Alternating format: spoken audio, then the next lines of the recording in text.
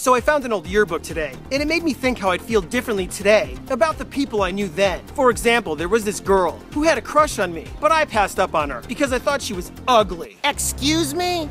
Fuck you. But today, I date her because I'm single and tired of masturbating. Well, you're not dating me now. Then there was this asshole, but I recognized him from his face more, who used to bully me, and I thought I could probably kick his ass. Maybe not. Then I saw another picture of a girl who I used to be in the same class with, and I had just seen her today downtown. She was homeless, and it made me wonder what happened from when I knew her to now that she ended up like that.